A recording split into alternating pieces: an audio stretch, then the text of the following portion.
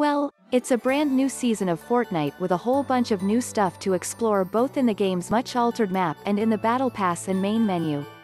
Agent Jonesy partnered up with the Foundation, the leader of the Mysterious Seven, to stop the Zero Point from destroying all reality, and now we've entered a primal season, filled with wild boars and packs of slavering wolves. A new batch of challenges also dropped which pretty much serves as a tutorial for some of the game's new mechanics, like crafting. One item players are tasked with crafting as a hunter's cloak, an item that can be used to throw animals off your scent.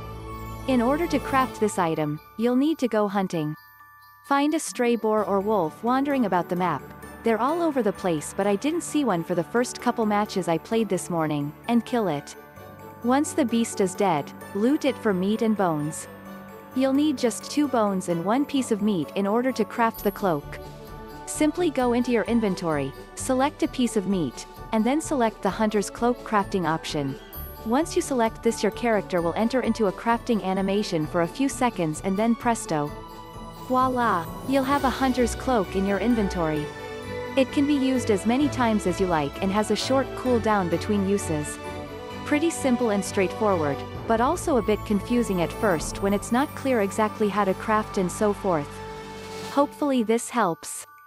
Happy hunting out there, young Padawans.